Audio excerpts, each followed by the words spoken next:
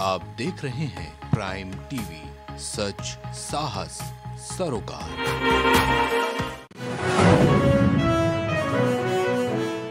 देश में छठ पर पर्व की हुई शुरुआत डिप्टी सीएम विजय पाठक ने तैयारियों का लिया जायजा।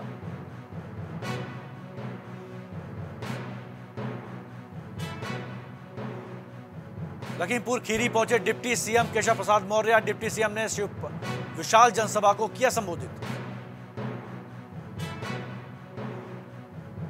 लखनऊ में मुख्य स्वास्थ्य चिकित्सा अधिकारी ने स्वास्थ्य केंद्रों का किया निरीक्षण।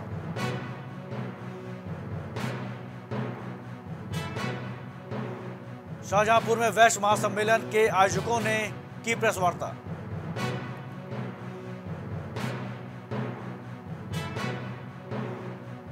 देवरिया में पुलिस को मिली है बड़ी सफलता, तीन आरोपियों को पुलिस ने किया गिरफ़्तार।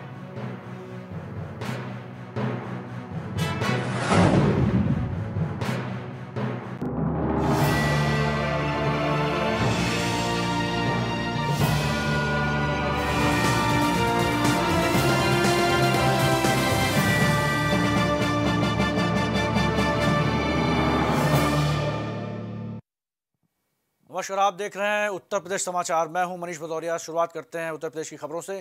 देश भर में छठ पर्व की शुरुआत हो चुकी है। राजधानी लखनऊ में लक्ष्मण मेला मैदान में सबसे बड़ा जमावड़ा लगा है आपको बता दें कि तैयारियों का जायजा लेने के लिए डिप्टी सीएम विजय पाठक पहुँचे, जहाँ गोमती नदी की पूजा अर्चना की, साथ ही छठ पूजा के आयोजक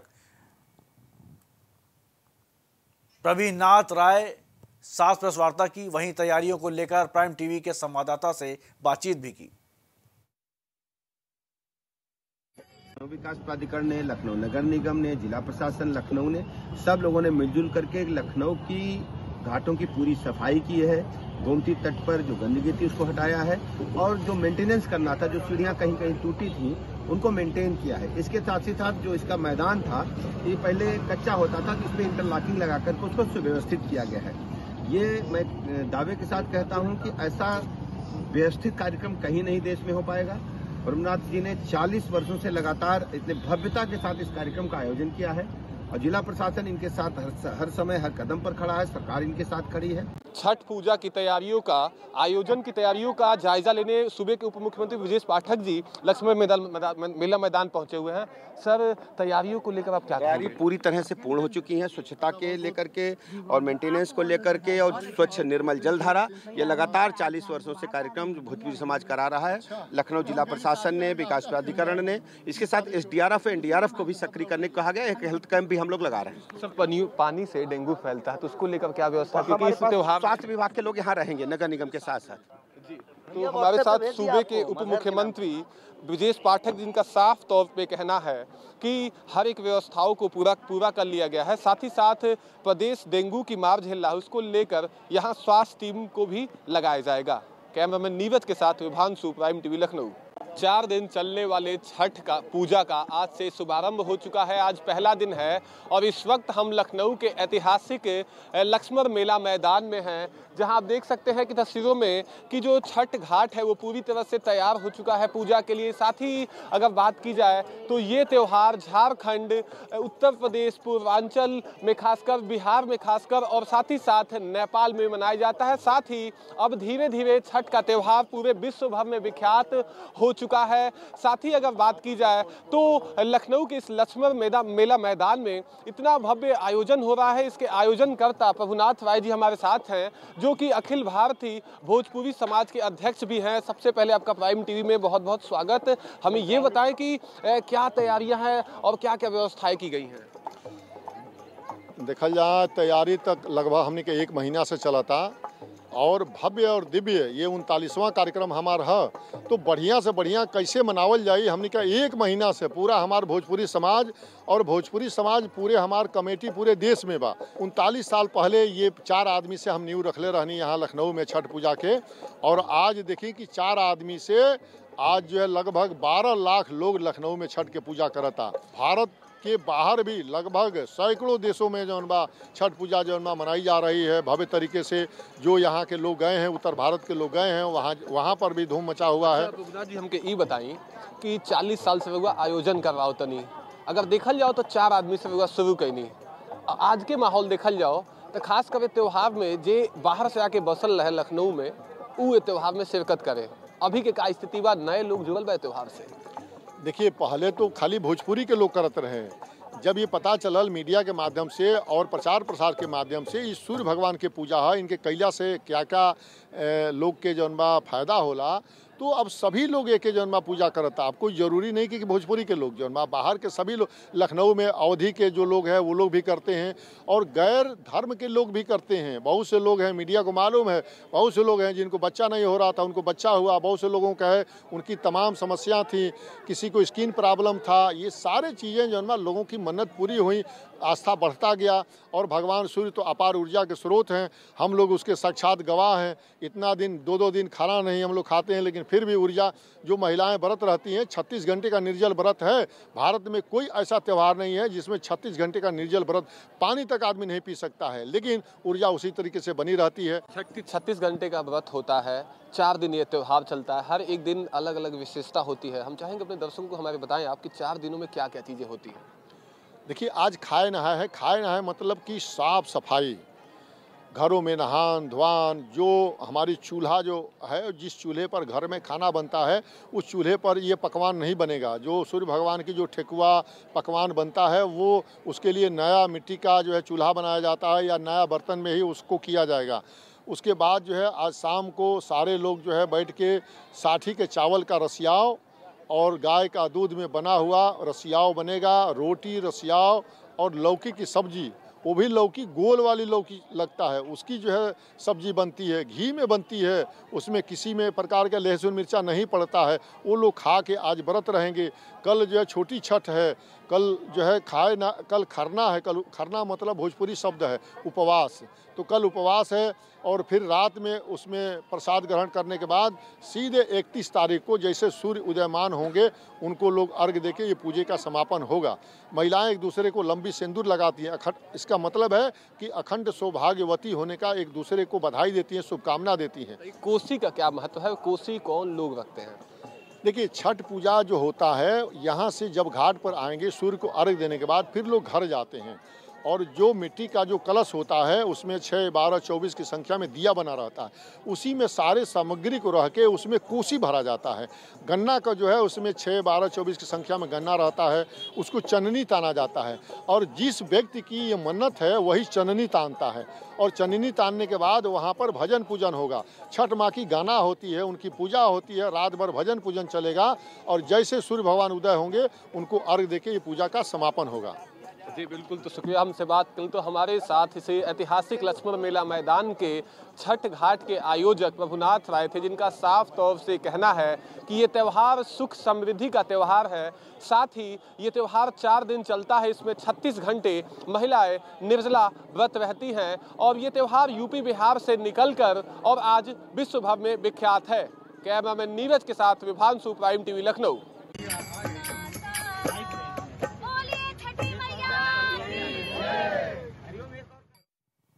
Deputy CM Keshav Prasad Maurya Lakhimpur Kheri पहुँचे जहाँ तीन नवंबर को होने वाले मतदान को लेकर आज डिप्टी सीएम केशव प्रसाद मौर्य ने गोला विधानसभा क्षेत्र के ममरी गाँव में एक विशाल जनसभा को संबोधित किया। तीन नवंबर को होने वाले मतदान को लेकर भाजपा प्रत्याशी अमन गिरी के पक्ष में वोट मांगे।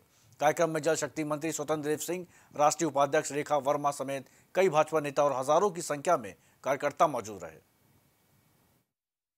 ये अधिकार गोला विधानसभा के पास है। और जो हम लोगों का फीडबैक है फीडबैक के हिसाब से यहाँ की जनता का एक तरफा आशीर्वाद भारतीय जनता पार्टी के प्रत्याशी हमारे स्वर्गीय विधायक अरविंद गिरी जी के पुत्र अमन गिरी जी को प्राप्त हुआ। यहाँ की जनता सारे भेदों को भूल करके कमल खिलाने का निर्णय ले चुकी है। और सपा का देखिए कोई न उत्तर प्रदेश में भविष्य है न देश में भविष्य है न लखीमपुर की गोला विधानसभा क्षेत्र में भविष्य इसलिए सपा को वोट देने का मतलब है वोट को बर्बाद करना और कमल को वोट देने का मतलब है कि गोला क्षेत्र का सर्वांगीण विकास करना। लखनऊ में मुख्य चिकित्सा अधिकारी ने जनपद के कई प्राथमिक नागरिक स्वास्थ्य केंद्रों का निरीक्षण किया साथ ही हेल्थ एवं वेलनेस सेंटर बिजनौर का निरीक्षण किया। निरीक्षण के दौरान अस्पतालों की साफ़ सफ़ाई व्यवस्था, सुदृढ़ करने, औषधियों की उपलब्धता सुनिश्चित करने के निर्देश दिए। आपको बता दें कि निरीक्षण के दौरान मुख्य चिकित्सा अधिकारी के साथ, अपर चिकित्सा अधिकारी भी मौजूद रहे।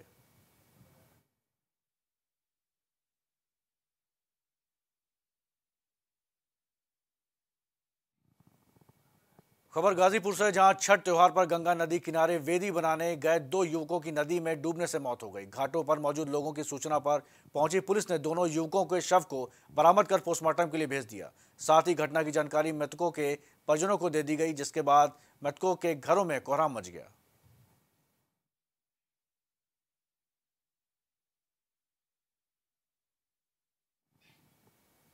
खबर हरदोई से जहाँ शराब व्यापारी से दबंगों ने मारपीट के साथ पैंसठ हज़ार रुपए भी लूट लिए हैं। व्यापारी के परिजनों ने बताया कि दबंगों ने उधार शराब न देने पर इस घटना को अंजाम दिया। सूचना पर पहुँची पुलिस ने घायल व्यापारी को इलाज के लिए जिला अस्पताल में भर्ती कराया है और दबंगों की गिरफ्तारी के भी सख्त निर्देश जारी किए हैं। की दुकान सेलमैनी का काम करता है। तो रात में साढ़े आठ बजे घर को आ रहा था। उसके साथ पैसे भी थे साथ में। कुछ अज्ञात लोगों ने रास्ते में घेर कर उसको मारा पीटा, पैसे भी छीन लगे। तो लड़के ने पहचान तो लिया रात में, पर इसलिए नहीं कहा कि वो मार देते। बाद में अस्पताल में उसको भर्ती कराया करें। खबर अलीगढ़ से, जहाँ दो पक्षों में धान की खेत में पानी निकासी को लेकर विवाद इतना बढ़ गया कि दोनों पक्षों ने एक दूसरे पर फायरिंग कर दी। इस झगड़े में दोनों पक्षों के कई लोग घायल भी हो गए, जिसकी सूचना पर पहुँची पुलिस ने इलाज के लिए जिला अस्पताल में भर्ती कराया। डीएसपी अभय कुमार पांडे ने घटनास्थल का निरीक्षण कर उपद्रवियों के खिलाफ कड़ी कार्रवाई के निर्देश जारी किए। हम हम लोग सब घर पे थे और ये हमने, हमारी गाँव के राजेश पुत्र कुमरपाल और सतीश पुत्र सुगर सिंह और रोहित पुत्र राजेंद्र और तेजवीर पुत्र मोहनलाल जी और घर पर चढ़ के मारपीट करने लगे और फायरिंग करने पाँच सात राउंड फायरिंग हुई है। हम लोग घर में बंद कर ले और जो कि मेरे भाई की पत्नी के गोली लगी सर इन्होंने गोली मारी। निकलते हुए मैं और मेरे पापा साथ में आ रहे थे। गोली तो मुझ पर मारने की संभावना थी। लेकिन मेरे पापा ने मेरी जेट बदली। उस कारण मेरे पापा की गोली लगी वजह मुझे मारने के लिए कोई पुरानी दुश्मनी चली आ रही है क्या है? हाँ पुरानी दुश्मनी चली। जे मतलब दूध लेके जा रही थी। और वो- वो- वो- वहाँ से उस दूध लेके निकल के आई और उस पल्ला से गोली आई है। तो क्या किसने मारी है जब गोली मारी है उन्होंने कुंवरपाल के लड़के राजेश। क्या मामला? कोई रंजिश ही आपकी? कोई रंजिश नहीं है जो पानी के पीछे कर लेने का जैसे पानी निकास हो जालम को हमारे जेठ से है पानी को लेकर हमारे जेठ से हुई है तो वो पान नाले को लिखा रखे तेरे महरौता में क्या राउंड फायरिंग हुई है? है? क्या कितने राउंड फायरिंग की है? बहुत तो आए बहुत तुमको फ़ायदा तो बहुत भई है। खबर शाहजहांपुर से जहाँ खन्नौर नदी घाट की साफ़ सफ़ाई का कार्य नगर निगम द्वारा करवाया जा रहा है वहीं नगर आयुक्त आशुतोष कुमार शर्मा ने घाट का औचक निरीक्षण कर सफ़ाई कार्य का जायजा लिया। पूर्वांचल महासभा अध्यक्ष सतीश चंद्र मिश्र ने कहा कि घाटों पर सेल्फी पॉइंट बनाया गया है और साथ ही बच्चों के मनोरंजन के लिए मिक्की माउस की भी तैयारियाँ की गई हैं। का महापर्व है। ये जो है, आज के तारीख से शुरू हो गया। चार दिन का ये पर्व होता है। आज नहाय खाए से नहाय खाए से शुरू होगा। कल खरना होगा। खरना के बाद से जो शाम को व्रती लोग जो है खीर और जो है चावल गन्ने के रस से बना करके खाएँगे, इसके बाद से 36 घंटे का निर्जला व्रत होता है। लोधीपुर में एक छठ का एक विशेष घाट विगत वर्षों में बनवाया था, नगर निगम ने। और वहाँ पे सारी व्यवस्थाएँ जो छठ पर्व से संबंधित होती हैं, वो हो रही हैं। लगातार दो तीन दिनों से क्लीनिंग कैंपेन चल रहा है सफ़ाई का। अभी जो जल स्तर बढ़ा था तो उस घाट पर लगभग काफ़ी मात्रा में सिल्ट आ गया था, पाँच पाँच छः छः फीट। ऊपर तक सिल्ट आ गया था, घाट के ऊपर। वो सारा सिल्ट हटा दिया गया है और जो भी गंदगी थी वो साफ़ कर दी गई है। अब जो जो घाट है और जो सीढ़ियाँ हैं, उसके धुलाई का कार्य हुआ है। और जो पानी में, गहराई में लोग ना जाएँ, उसके लिए हम लोग सुरक्षात्मक प्रबंध जैसे बैरिकेटिंग वगैरह भी करा रहे हैं।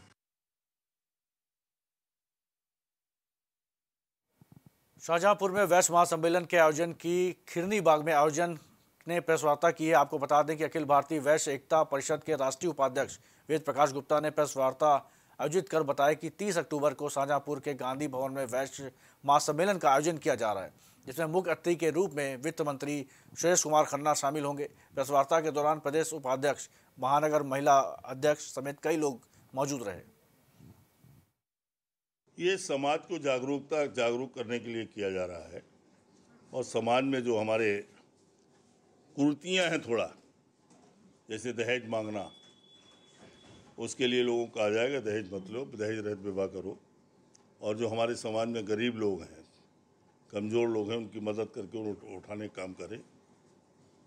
इस बात का मेन उद्देश्य है। खबर हरदोई में कोतवाली शहर थाना क्षेत्र के गाँव भदैचा में हुए डबल मर्डर में पुलिस के हाथ बड़ी कामयाबी लगी है। कोतवाली शहर पुलिस ने सनसनीखेज घटना का खुलासा करते हुए हत्याकांड को अंजाम देने वाले तीन आरोपियों को पुलिस ने गिरफ़्तार किए जाने की सूचना प्रेस वार्ता कर जानकारी दी। थाना कोतवाली शहर में ग्राम भदैचा है, और उसमें रहने वाले बाबू सिंह, उनके पुत्र की गोली मारकर हत्या कर दी गई थी। और साथ ही साथ उनके परिवार के दो लोग और एक पड़ोस में रहने वाले को घायल कर दिया गया था। इस संबंध में जो घायल पुत्र है, उसकी तहरीर पर गाँव के ही गुड्डू सिंह, उनके दो पुत्र और एक परिवारी को नामजद किया गया था। इनकी जो है हरदोई पुलिस द्वारा, अपर पुलिस अधीक्षक पूर्वी के लीडरशिप में कई टीमें गठन की गई थी इनके अरेस्ट के लिए, जो कि विगत रात्रि में जो इसमें मुख्य अभियुक्त है गुड्डू सिंह और उनके दो पुत्र गिरफ़्तार किए गए। अलीगढ़ में तेज रफ्तार कैंटर ने बाइक सवार व्यक्ति को रौंदा है। आपको बता दें कि युवा गंभीर रूप से घायल हो गया है जिसके बाद सूचना पर पहुँची पुलिस ने घायल को हॉस्पिटल में भर्ती कराया। हादसे की सूचना पाकर पहुँचे ग्रामीणों ने प्रदर्शन कर चौराहे पर जाम लगाया जिसके बाद पुलिस जाम लगा रहे ग्रामीणों को समझाने में जुटी हुई है। छोटा ये पैर उनका अलग कट गया बिल्कुल ट्रक से। कौन है तुम्हारे? खड़ा हुआ है। क्या कौन है तुम्हारे? वो अफजल चाचा जी लगते हैं वैसे गाँव के हैं वो मेरे। चाचा जी वेल्डिंग का काम है उनका इगलास में। और वो घर के लिए जा रहे थे। कोई भी सुरक्षा नहीं है ना कोई कुछ है। आप लोगों ने क्या मांग की मैं चोरा हमने उनकी मांग की उनका बेटा खड़ा हुआ है उनसे बात कर लीजिए आप दो मिनट के लिए। क्या दिक्कत आई? आपने जाम लगाया क्या हुआ? जाम लगाने की कोशिश करी पुलिस वालों ने कह दिया जाम नहीं लगाने देंगे। क्या नाम है आपका? मेरा नाम अजय कुमार है सलेम। पिताजी मेरे दुकान से घर पर नहाने के लिए जा रहे थे। तो, तो ओवरटेक ट्रक ने किया है तो उन पर बाइक में टक्कर टक्कर मारी है। टक्कर मार दो उनका पैर अलग हो गया है। ऑटो से नीचे। किसने टक्कर मारी है? ट्रक वाले ने। ट्रक चालक पकड़ा गया? नहीं पकड़ा गया वो भगा दिया गया गार्डों ने भगा दिया वहाँ से। खबर कुशीनगर से जहाँ पुलिस अधीक्षक के नेतृत्व में अपराध और अपराधियों के खिलाफ सख्त कार्रवाई की जा रही है। संबंध में पुलिस और सर्विलांस की टीम ने बीते कुछ दिन पहले हुई महिला की हत्या का खुलासा किया। साथ ही एक संदिग्ध को भी गिरफ़्तार किया है। पुलिस अधिकारियों ने हत्या में इस्तेमाल किए गए उपकरणों को भी बरामद कर लिया है। थाना रामपुला अंतर्गत मेदीगंज गाँव में एक महिला की हत्या की घटना कारित की गई थी। घटना के अनावरण के लिए थाना रामपुला पुलिस सर्विलांस और स्वाट की संयुक्त टीम गठित की गई थी। गठित टीम द्वारा सघन प्रयास करते हुए घटना का सफल अनावरण किया गया है। तथा एक अभियुक्त प्रवीण उर्फ़ प्रदीप पाल, निवासी बारून बाज़ार, थाना इनायत नगर, जनपद अयोध्या को गिरफ़्तार किया गया है और उसके निशादेही पर घटना में प्रयुक्त आला कतल राड को बरामद किया गया है। देवरिया में पुलिस ने लूट की घटना का खुलासा किया। आपको बता दें कि पुलिस ने तीन आरोपियों को गिरफ़्तार कर लिया है। घटनास्थल से अवैध कारतूस भी बरामद किया है।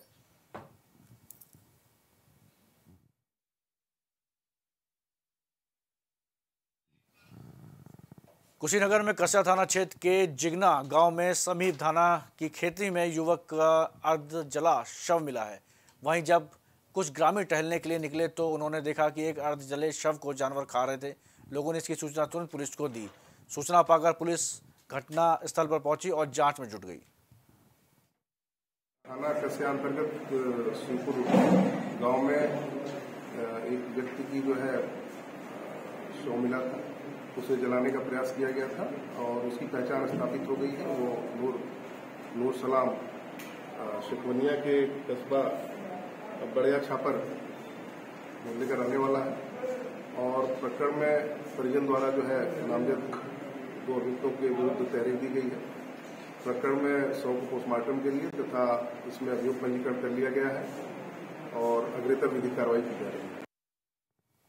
इनरव्हील डिस्ट्रिक्ट का आयोजन इस बार हरदोई के इनरव्हील डिस्ट्रिक्ट क्लब द्वारा जेके पब्लिक स्कूल आवास विकास कॉलोनी में किया जा रहा है। मुख्य अतिथि सरिता लुलानी और सरोज कटियार इस कार्यक्रम का हिस्सा होंगे। इस अवसर पर क्लब साक्षरता कार्यक्रम, योग शिक्षा, महिला हेल्पलाइन का उद्घाटन किया गया। वहीं इस कार्यक्रम में प्रदर्शनी भी लगाई गई, जिसमें कई तरह के उत्पादों की प्रस्तुति दी गई। हमारा क्लब है, जो कि इंटरनेशनल ऑर्गेनाइजेशन इसके अंतर्गत हम लोग चार प्रोग्राम हर साल होते हैं। डिस्ट्रिक्ट असेंबली होती है डिस्ट्रिक्ट कॉन्फ्रेंस होती है district rally and I S होती है और इंटर्नशिप होती है। तो ये एक बहुत बड़ा कार्यक्रम है जो हमारे हरदोई को दिया गया district rally and I S इस कार्यक्रम के अंतर्गत हम लोग सारे, जो हमारे क्लब हैं 108 क्लब हैं पूरे उसमें डिस्ट्रिक्ट में हमारा डिस्ट्रिक्ट भी वन वन कहलाता है।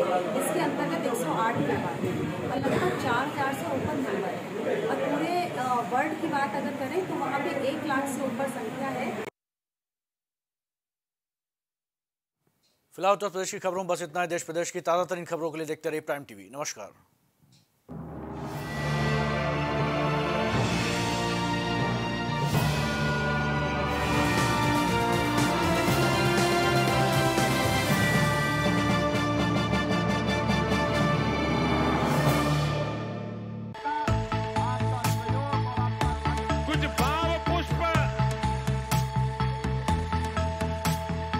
आप देख रहे हैं प्राइम टीवी सच साहस सरोकार।